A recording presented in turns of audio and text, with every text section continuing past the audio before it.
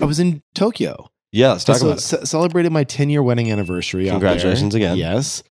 That was amazing. And eh, we had a, a ton of fun. Darya met me out there. We did a Moonbirds meetup. So we had over a hundred Japanese speaking Moonbirds collectors out there, which was challenging and awesome at the same time. and then Henry, Yeah. my Zen instructor here, Shukman. Shukman, here in the United States, introduced me to the head of his lineage of Zen, who I got to go out and meet with and sit down with and have a go to karaoke. Private. Yeah, exactly. We're not drinking and just do karaoke together all night long. No, but we we we had a little private gathering and sit down and did a, a, a private. Did he lay his hands on you? Exercise the demons? There was there was no, he helped me with my practice and game. He speaks uh, his English is quite good, and it was it was very intimidating. Very I bet. intimidating.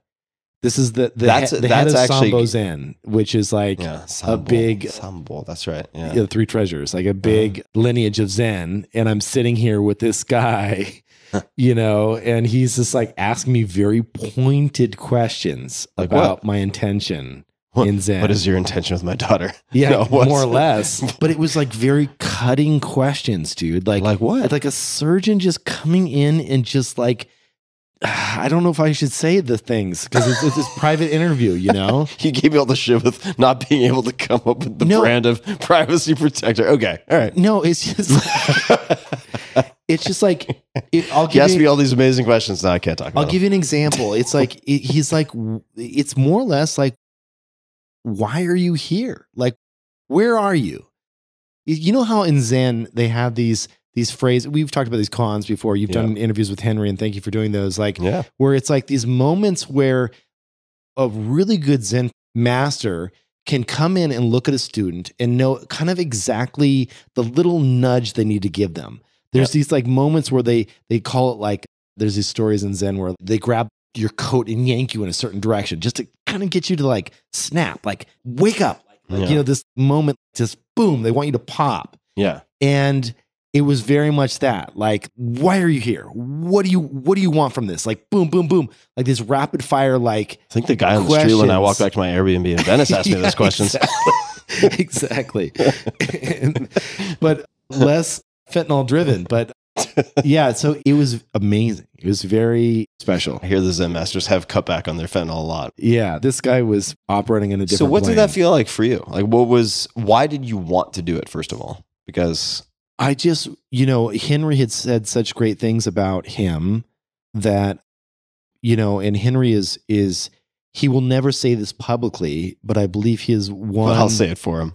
No, I will because I think it's important. Like he he's he's such a, a modest guy that like Henry is one of I, I think it's like five or so of like fully sanctioned Zen masters in this lineage, and that Mm. that's a big deal when there's you know hundreds of teachers in this in this realm. So, you know, this is his master, his his Mhm. teacher. If you get a chance to take that meeting, you take it. You know, Yeah, and totally. so you know, I went in You're there. not like, nah, I'm busy. Yeah, exactly. I'm going to try I'm- on some new shoes. I'm too too busy going going to try some fancy Japanese coffee, but which I did, which is amazing. Cafe Mamea out there is fantastic. But honestly, though, the one thing that I I took away from it for for people that that I will share is that one of the things that he asked me is he's like, how how often do you practice and how long do you practice? And I said, you know, I practice 25 minutes a day, probably five days a week. And he goes, what about the other two days? And I go, well, I got a startup, I got this and I got that. And he goes, I don't care and I'm paraphrasing here, but he goes, I don't care if you practice five minutes a day. He goes, don't miss a day. Don't break a day. Hmm. Continue to do it. Don't don't miss a day. Hmm. And since then, I have not missed a day. And I will say it's it's kind of amazing because even if you can sit down for five minutes, it just keeps that continuity going. And, Yeah. and, and it actually keeps me at a, a slightly elevated, more I don't know. It keeps the commitment stronger. Like it, it feels better. And that was that was sound advice. It's great advice. Dario, can I trouble you for just a little bit of water, please? Thank you so much. Arigato gozaimasu. Hi, arigato gozaimasu. Itsumo sewa ninatte orimasu. Oh, Should we? What? Wait, what's what's water? You can do it. Hold on. Hold on. Don't tell me. Yeah, you got it. uh, oishi. It's so oishi. what? Oishi. No, that's It's that's delicious. tasty. Yeah, I know. The water's tasty. What? Mizu. Mizu. Mizu, omizu. Oh, oh, mizu. Yep, oh, omizu. Like mizutani. Mizu. There, Hey. are, there are a lot of mizus out there. So let's stay on the Japanese kick for a Yeah. second. This is a book in front of me, which I'm just digging into. Japanese death poems. Let's talk about Japanese death poems. I did not actually, I'm embarrassed to admit, know this was the thing. This was given to me by a friend who has spent a lot of time in the military and has developed a rather unique perspective, unique perspectives on death from, I suppose, the vantage point of a layperson, right, of a civilian. And so this book is, I'll, I'll just read the quote on the back. This is one of the the blurbs. A wonderful introduction to the Japanese tradition of jisei. This volume is crammed with exquisite, spontaneous verse and pithy, often hilarious descriptions of the eccentric and committed monastics who wrote the poems. So these poems are written on the verge of death. And literally, the Mm. subtitle is written by Zen monks and haiku poets on the verge of death Yes. and uh, it's incredibly well researched. You have not just the English versions, you have the introduction and all the context, you have the Japanese, and then you have footnotes describing what these various words might mean, what the metaphors allude to.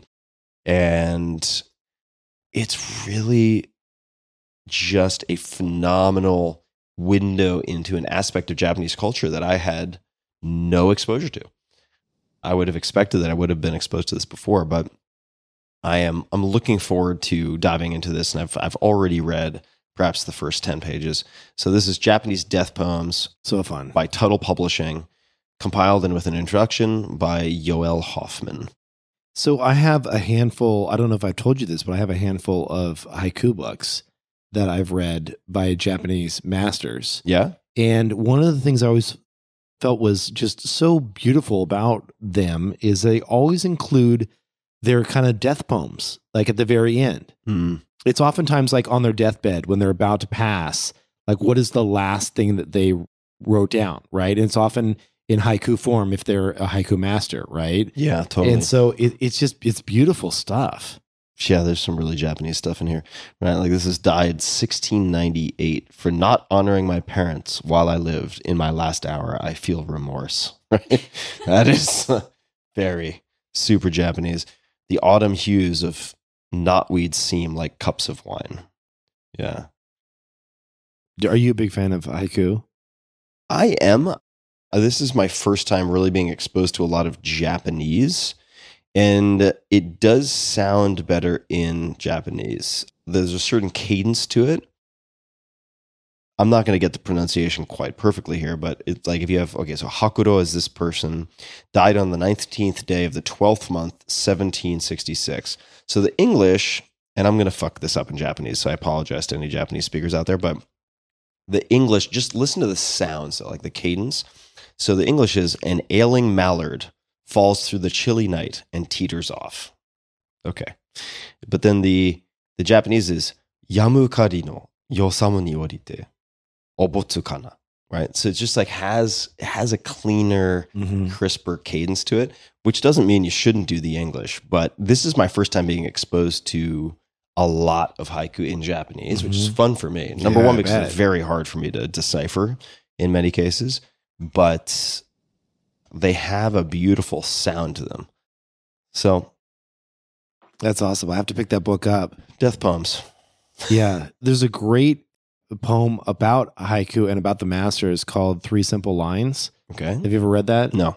It's a fantastic book that is written by a Zen practitioner that covers a lot of the the Zen masters of haiku and along with a really beautiful personal story. So Hmm. uh, definitely worth it. Very short read, definitely worth picking up along with this. Yeah, I mean, how Japanese relate to death, which is something I have some exposure to, but not to the poems, this particular jisei format, tells you a lot about how they live. I mean, it, it, does provide sort of a prism through which you can appreciate how they navigate a lot of life as well, right? Like in, in addressing the final hours and thinking about dying, death, the path to death. When you get a better understanding of that, many of the things that you observe in Japanese culture make more sense in a way.